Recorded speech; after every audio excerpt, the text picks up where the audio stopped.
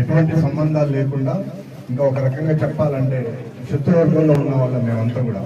కానీ తెలంగాణలో వీళ్ళ బలమైన ప్రభావంతో మేము చిన్న చిన్న ప్రజా ఉద్యమాల్లో పాల్గొన్నప్పుడు బీరెడ్డి నరసింహారెడ్డి గారు ధర్మభిక్ష గారు మల్లు స్వరాజ్యం గారు అలుబిల్ నరసింహారెడ్డి గారు కాకి లక్ష్మారెడ్డి గారు వీళ్ళందరినీ ఏదో ఒక సందర్భంలో కలిసి పనిచేసే అదృష్టం అవకాశం కలిగింది.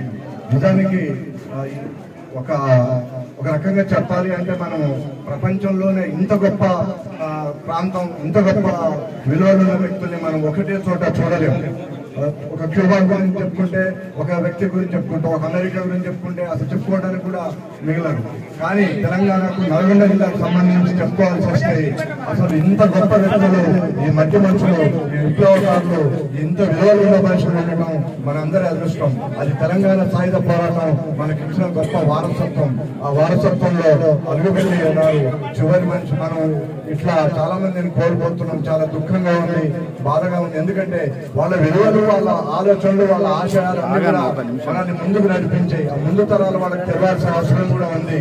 వాళ్ళని మనం ఆదర్శంగా తీసుకొని వాళ్ళు నడిచిన బాటలో నడవాలి. అంతేకాకుండా ఇవాళ మనం చూస్తున్నాం ఒక బలమైన శత్రువు ఇవాళ మన తెలంగాణ గడ్డ మీదకి వచ్చి చాలా బాహుబలిలాగా విజృంభించడానికి సిద్ధంగా ఉన్నాడు. కానీ మనమేమో చీలికలు పేలికలై వాళ్ళని మనం ఒంటరి వాళ్ళం అయిపోతున్నాం. కాబట్టి ఇప్పుడైనా ఈ సందర్భంగానైనా దీన్ని మనం ఇట్లాంటి సందర్భంలోనైనా మళ్ళీ మనం అందరం కలిసి అన్ని అన్ని రకాల పార్టీలు అన్ని సంఘాలు ఒకటే జెండా కింద ఉండి నీడలో పనిచేస్తేనే తెలంగాణకు ప్రజలకు దేశానికి కూడా విముక్తమవుతుంది. తెలంగాణ ఉద్యమ సమయంలో కమ్యూనిస్టు పార్టీలు కీలకమైన నిర్ణయం తీసుకొని ఉంటే ఇలా కేసీఆర్ ఆ స్థానంలో ఉండేవాడు కాదు. నిజానికి మనం ఇవాళ వాళ్ళందరికీ కూడా మనం అవకాశం ఇచ్చినట్టు అవుతుంది. ఇవన్నీ కూడా వీళ్ళందరూ కూడా అట్లా చాలా సార్లు మాట్లాడిండ్రు చెప్పిండ్రు మనం కూడా విన్నాము.